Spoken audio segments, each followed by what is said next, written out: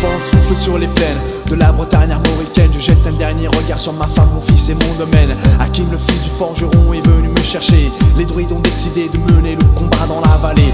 Là où tous nos ancêtres, de géants guerriers celtes, après de grandes batailles, se sont imposés en maîtres. C'est l'heure maintenant de défendre notre terre contre une armée de cimériens prête à croiser le fer. Toute la tribu s'est réunie autour du grand menhir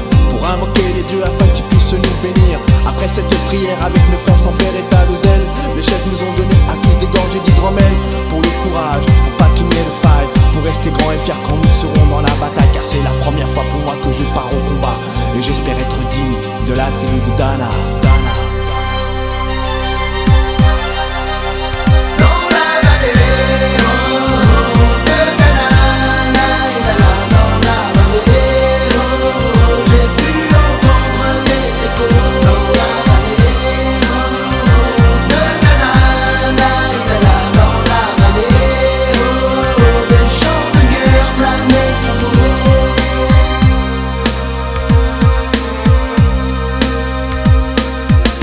Quelques incantations de druides et de magie, toute la tribu, le glaive en main, courait vers l'ennemi. La lutte était terrible et je ne voyais que les ombres, tranchant l'ennemi qui revenait toujours en surnombre. Mes frères tombaient l'un après l'autre devant mon regard, sur le poids des armes que possédaient tous ces barbares.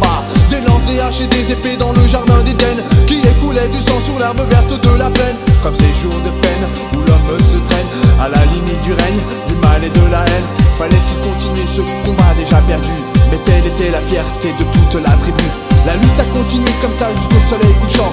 De férocité extrêmement plus l'acharnement. Fallait défendre la terre de nos ancêtres enterrés là. Et pour toutes les lois de la tribu de Dana.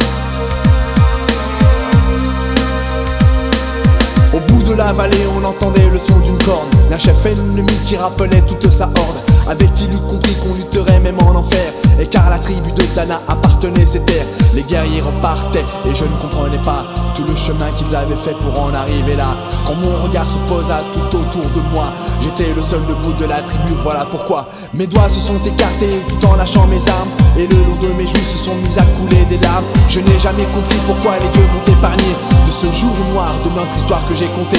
Le vent souffle toujours sur la Bretagne armoricaine Et j'ai rejoint ma femme, mon fils et mon domaine. J'ai tout reconstruit de mes mains pour en arriver là. Je suis